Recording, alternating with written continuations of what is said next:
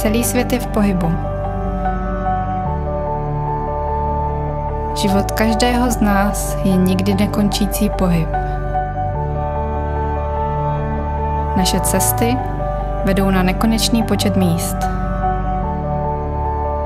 Každým krokem se dostáváme o kousek dál. Ale co to vlastně znamená dostat se dál? Dostat se dál znamená zbavit se všednosti, posunout hranice, nezůstat v zajetých kolejích.